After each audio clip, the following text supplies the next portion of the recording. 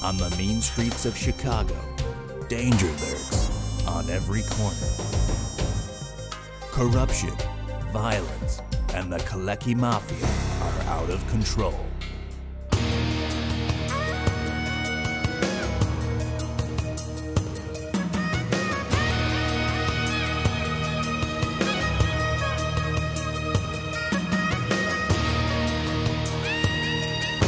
But in the greatest city on earth, the one with the world's second tallest building, the only thing worse than the crime is the punishment. Roger Moon is Lieutenant John Eclipse, Hey, take uh, one north. a mean cop with nothing to prove. I've got nothing to prove. Jay Neander is Tony Solar, a cop with some weird skin disorder. What he said. How'd you get so white? When you're three, gasoline doesn't taste that bad. The bad guys are gonna need SPF 1 million to protect themselves from these ultraviolet rays. Solar Eclipse. This time, the Windy City blows with justice.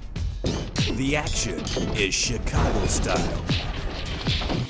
The romance is deep dish. You know, you're pretty big. For a white guy. Thanks. I wasn't talking to you.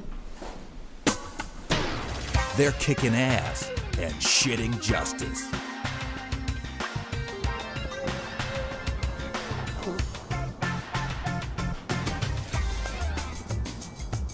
And they know how to party. From the producer of The Tusk and the Abacus. Don't you be grabbing into my birthday purse! comes the greatest cop drama you'll ever fucking see. what